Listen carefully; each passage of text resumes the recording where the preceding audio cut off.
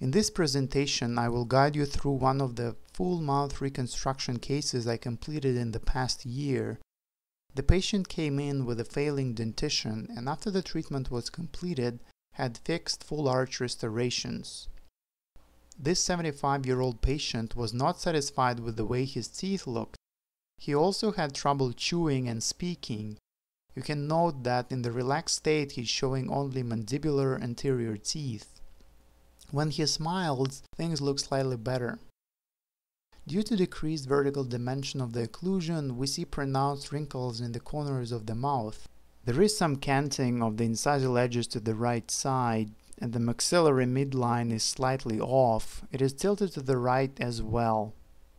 This patient invested a significant amount of time and money in his dental health throughout his life we see some crowns, implant restorations, multiple fillings, and the partial denture. Occlusal contacts are only present between the anterior teeth. Note the supraeruption of the mandibular incisors. It becomes very clear when you appreciate the difference in gingival levels. The lower left canine is affected by recurrent carious lesions, and the second premolar is broken at the gingival level. The buccal margin of the porcelain fused to metal crown was patched with an amalgam restoration. On the right side we can see recurrent caries on the labial margin of the canine crown. Implant restorations on the maxilla are decemented. Gaps between the custom abutments and restorations are obvious to the naked eye. Our patient removes these implant crowns with his partial and puts everything back in by himself. The patient is in class 2 malocclusion. Notice the overjet in the anterior region. The only natural tooth in the maxilla is the premolar on the left side. Everything else was replaced with implant crowns and the removable partial denture. When we remove the prosthesis, we can appreciate the condition of the underlying tissues. Soft tissues appear red and irritated, the patient also admits not removing the denture at night time. There are two locator abutments attached to the anterior implants. As I mentioned previously, the crowns on the right side are no longer cemented to custom abutments. Due to constant irritation, there is some overgrowth of the soft tissues around the locator abutments the mandibular ridges appear to be of adequate width clinically. There is a good amount of keratinized gingiva. There is a retained root tip on the left side. Due to supraeruption of the mandibular anterior teeth, there is some excessive vertical alveolar bone exposed. On periapical radiographs, we can appreciate the implant positions and the state of the natural teeth. There are radiographic signs of periapical lesions, poor marginal integrity of crowns, and signs of carious activity.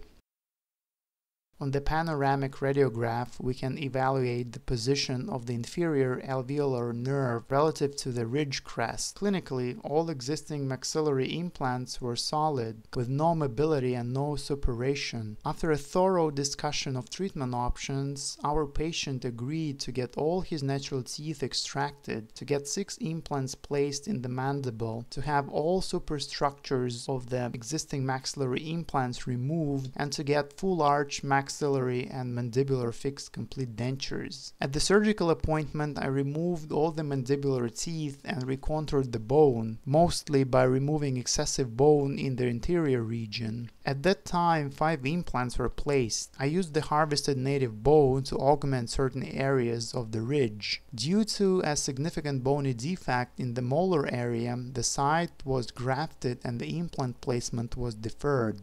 This is a post-operative panoramic radiograph taken on the day of the surgery. Due to grafting and poor initial stability of some of the implants, cover screws were used and the flaps were sutured over the top. In this case, Dentsply Astra implants were used. In the maxilla, the patient had four Zimmer implants and two Ankylos implants placed previously. The sixth mandibular implant on the lower left side was placed at the uncovering appointment three months after the initial surgery. During all this time, my patient did not have any temporary prosthesis, though he continued using his upper partial denture for look. At subsequent restorative appointments, I had to remove and put back all of the existing maxillary restorations. On this photo, we can see six long open tray impression copings attached to the implants. First, we need to fabricate a custom tray. At this stage, I took the alginate impression of the attached copings using the plastic stock tray. The impression was removed, but all the copings stayed on the implants. Now I will show you how to make a custom tray for this case. I made the maxillary tray in a similar manner. You take a few dowel pins and place them in the alginate impression. Then you pour your impression in stone. After retrieving the cast, the dowel pins stay embedded in stone and they will indicate the positions of the impression coping pins. I used rope wax to block out proper space for the copings and impression material. This is the mandibular custom tray. As you can see I made 6 openings for easy access to the impression coping pins. To prevent movement between the impression copings, we need to splint them with rigid material. I used floss to support light cured resin. With a micro brush, you apply your material of choice. You should do it in small increments in order to minimize shrinkage. When you are done, it will look like this. The next step is to eliminate any tension between the copings that was created due to shrinkage of the material. For that purpose, I made cuts in between each and every coping with a high-speed handpiece and a diamond burr. Here is an enlarged view. Note that you don't want to make these cuts too wide. Then I fill the cuts with a new portion of the resin to connect them back together one by one. When all of the copings are connected, we are ready to take the final impression. I inject light-bodied PVS impression material onto the tissues and around the copings, and my assistant fills the custom tray with heavy-bodied PVS material. The impression tray is placed in the mouth. I like using a Brånemark lip retractor at this step. When the impression material sets, I unscrew every impression pin. Sometimes, especially in the posterior aspects of the mouth, it is very difficult to engage a pin with a screwdriver. In these situations, a needle holder is useful for removal of the pins. And this is my final impression. I want to make sure there are no voids around the impression copings or any bubbles on the soft tissues of the ridge. We can dismiss the patient at this point. In the lab, appropriate lab analogs are attached to the impression copings. Vaseline is applied to the impression around the copings to prevent sticking of the soft tissue replicating material. For a soft tissue model, you can use a special material or any type of PVS material available. The impression is properly boxed and poured in die stone. The maxillary impression is then taken in a similar manner. Now that I have both models, I need to make sure they're accurate, that my models are true representations of the implant's positions in the patient's mouth. In other words, I need to verify the accuracy of the casts. I will show you how to do this using the maxillary cast.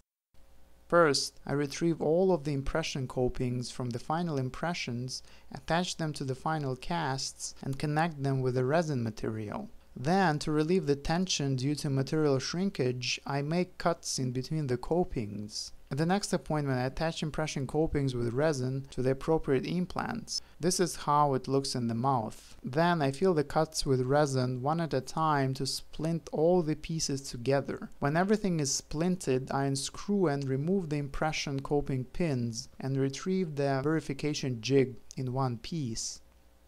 Then I position my verification jig on the final cast and evaluate its fit. I inspect the intimacy of the fit between the implant analogs and impression copings. I don't want to see any gaps between the components. I look at each and every connection.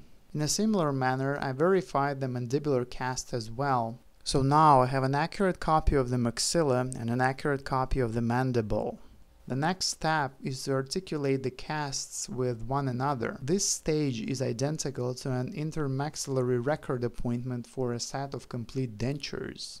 I put four healing abutments on the maxillary cast and two locator abutments from the patient's mouth. I attached two metal locator housings on the locator abutments and then fabricated a base plate. It is not a necessary step, but it will make my base plate more stable during the subsequent bite registration appointment and the teeth try-in appointment. At the intermaxillary record appointment, we contour wax rims for proper lip support, proper length, and proper vertical dimension of occlusion. Teeth are selected and the midline is marked on the rims. Then the bite record is taken in the conventional manner. The case was registered in a centric relation. The casts are then articulated with a face bow and bite record.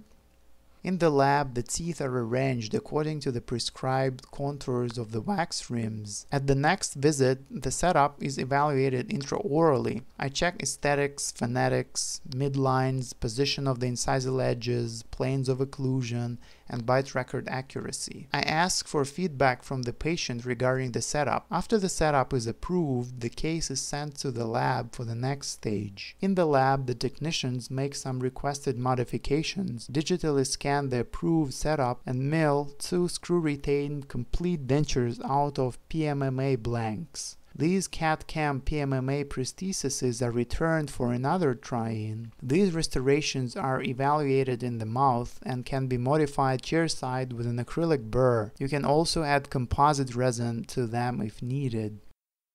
On this lateral view you can appreciate the soft tissue adaptation and contours. The class 2 jaw relation is addressed by positioning of the mandibular anterior teeth labially. The positions of screw access openings are evaluated as well. In this case, a screw access channel for the maxillary right central incisor comes through the incisal edge, which is not acceptable aesthetically. The screw access channel position of the implant located in the left lateral incisor site is better, but is also somewhat close to the incisal edge. There are several ways to address this. We can either fabricate individual crowns, which are cemented separately onto the prosthesis, or not use the abutment screws in these two sites. We can leave two positive stops in these areas. Another solution is to fabricate two parallel custom abutments for these two implants and have the prosthesis seat on them passively in these two areas. On this picture you see the locations of screw access channels of the mandibular try-in prosthesis. Please note the position of the anterior teeth relative to the anterior ridge crest. At this stage we can check aesthetics and make some modifications if desired. Any feedback from the patient is highly valuable at this point. It is not a bad idea to get an opinion on aesthetics from the patient's significant other. As I noted previously, there is a screw access opening through the incisal edge of the maxillary right central incisor. It is very obvious on this photograph. I checked the occlusion to make sure my bite record was accurate. The gingival shade is selected at this stage. We also want to talk to the patient regarding the desired shade of the teeth. After collecting all this information, the case is sent to the lab for fabrication of the definitive prostheses. Lab techs will use our try-in prosthesis as a template to design the final restorations. These are the definitive restorations. Hybrid ceramic material was chosen in this case as it has good mechanical characteristics and great aesthetics. It can be adjusted chair side if necessary and you can also add composite to it if needed. The alternative solution is to mill a monolithic zirconia framework with porcelain applied in certain areas such as the vestibular surfaces of the anterior teeth and gingiva. The framework can also be milled out of chrome cobalt alloy or titanium alloy after which porcelain is applied to the metal in the conventional manner. On the lateral views, soft tissues adaptation can be discerned. Please note the position of the mandibular incisors. The palatal part of the prosthesis can be shaded in pink if desired. Four screw access channels are visible. Two anterior implants were restored with two parallel custom abutments on which the prosthesis was passively sliding. Tissue adaptation can be appreciated in this view. Here we see screw access openings of the definitive mandibular prosthesis. This picture is from a different but similar case. Titanium non-engaging implant components are cemented to the prosthesis in the lab with resin cement. It is advantageous to have titanium components of the prosthesis in contact with implant connections. This combination will not lead to excessive wear between the surfaces in contact since both materials have the same mechanical properties. This photo is also from a different but similar case. On it we see how the titanium components are attached to the implant analogs. Now let's see how everything looks in the mouth. Tissue contours of the restorations were modified to allow for proper hygiene with a dental irrigator and superfloss. Canine guidance was chosen as the occlusal scheme for this case. This patient doesn't have any natural teeth left, so the benefits of the canine guidance are limited in this particular case. Group function or balanced occlusion schemes are both acceptable in this case. The latter two occlusal schemes may minimize forces in certain areas of the prosthesis, which theoretically can be beneficial. Correct occlusion is verified for the third time during the treatment. Abutment screws are torqued with a torque wrench to appropriate values. Screw access channels are plugged with the PTFE material and sealed with conventional composite resin. In the future, when there is a need to remove the prosthesis for the maintenance or repair, the screws can be readily located and accessed. One disadvantage of the screw-retained prosthesis is the necessity to use chairside composite to seal the screw access openings. Composite will stain and deteriorate with time, and these composite plugs may even fall off. Also, we don't want to have any occlusal contacts on these composite islands. Relaxed anterior view about a millimeter of the maxillary incisors is visible. This is how it looks when the patient is laughing. Finally, here I asked the patient to smile as big as he could. The patient was satisfied with the outcome. This case took about 6 months to complete. Most of the time after the surgical part was just spent waiting for the healing to occur.